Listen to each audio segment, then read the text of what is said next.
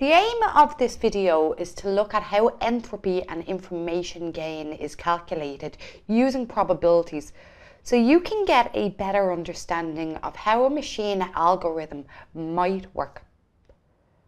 We have a data set here and what we want to be able to do is predict if somebody is going to default on their loan or not default on their loan based on a number of questions that would be asked on a loan application. Now existing data, well that data is known as training data. And using the training data, we want to build a model that will quickly and accurately predict whether somebody is going to default or not. And for this example, we're using entropy and information gain. Now, entropy is the formula for entropy is minus P1 multiplied by log to the base of P1 minus P2 multiplied by log to the base of P2, where the P's are equal to probability. Now that is a little bit complicated and we are going to quickly go through this calculation using Excel because it's very easy to understand with Excel. Let's just look at our default column, ignore the rest of the data set.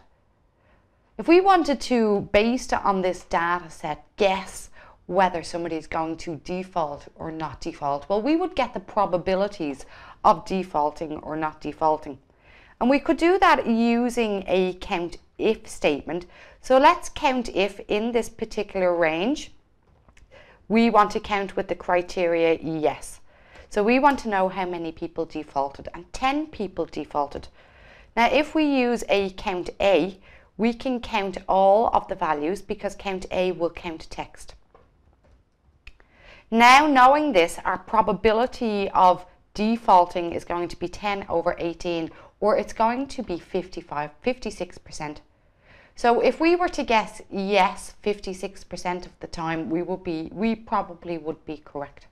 But can we make this number more accurate? Is there any way by adding in more information that we can make a more accurate guess? Well, we're going to look at this entropy calculation now and information gain calculation now. And the way we're going to do it is we're going to actually use Excel pivot tables. So I'm going to select my data and I'm going to say insert and I'm going to insert a pivot table. And I'm going to put it on the existing worksheet so we can see what we're doing. So we have our pivot table in here. And the first thing we're going to look at is calculating the entropy of the entire data set. And this is calculated as we see here using our count function on the column in which you want to label. So we will be looking for the label in our machine learning algorithm. Is this person going to default or not default? So using the column that you wish to label is the column that you start your entropy calculation with. So we're going to take default, our default column, and I am going to put it into my columns. And I'm going to take it again and I'm going to put it into my values. And we can see quickly here that we have 10 people that default and 8 people that don't default. Now, probabilities and pivot tables is quite easy. So I'm going to go to value field settings, show value as, and on my calculation, I am going to say of the row total. So now we have a percentage of our row total and we can see that 44% of people won't default and 55.56 of people will default. So these are our probabilities.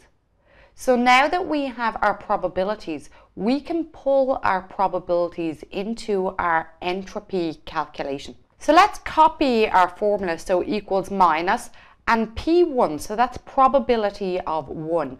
Well, our probability of our first one is our probability of no, which is our 44%.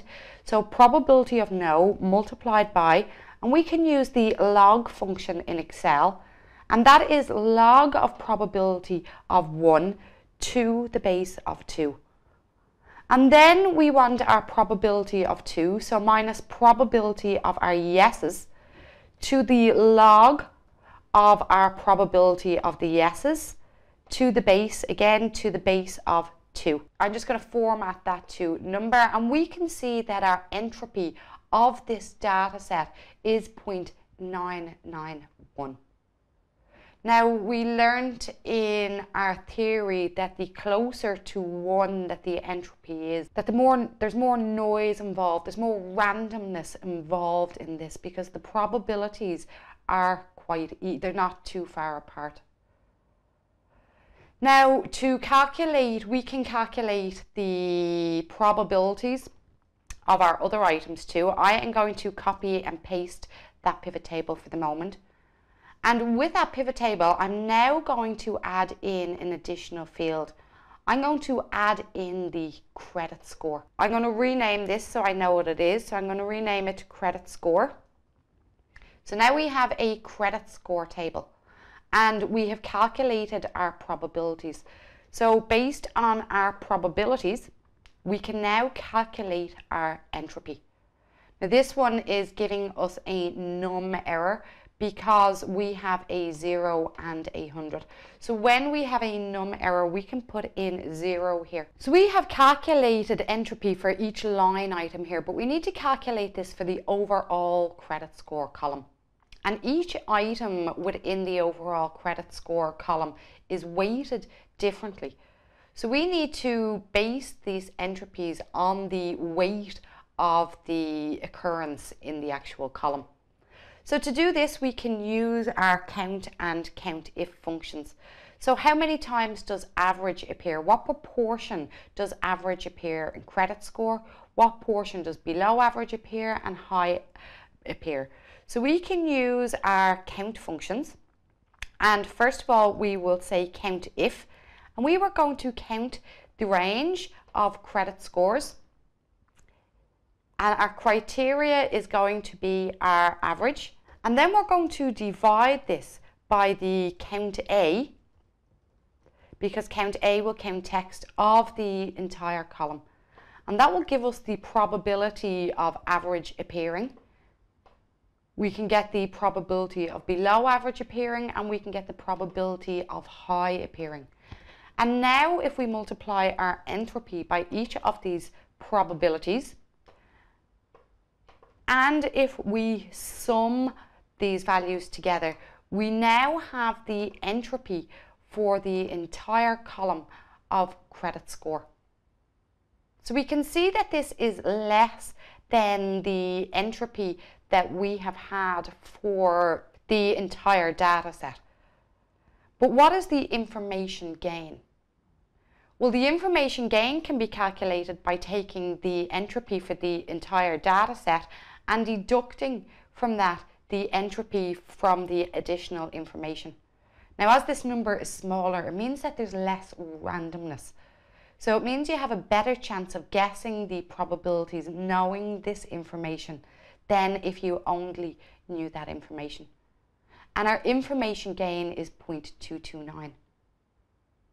Now, for a machine learning model to actually work, this will have to be calculated for each item that you have a column of data for. And in the next video, we're going to work through how this works in a machine learning algorithm.